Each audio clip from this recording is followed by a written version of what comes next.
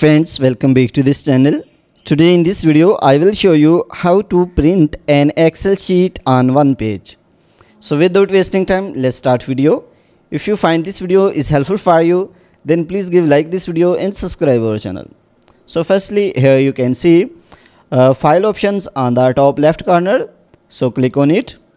So after this, uh, here you can see print option. So just tap on it. And at the last, uh, you can see a scaling option so just click on it. So after this you can see fit sheet on one page.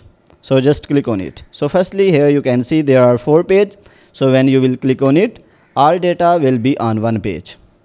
So guys after this uh, if you want to uh, fit all column on one page so just click on it. So here you can also see the options of fit all rows on one page so guys in this way you can uh, fit all data in one page.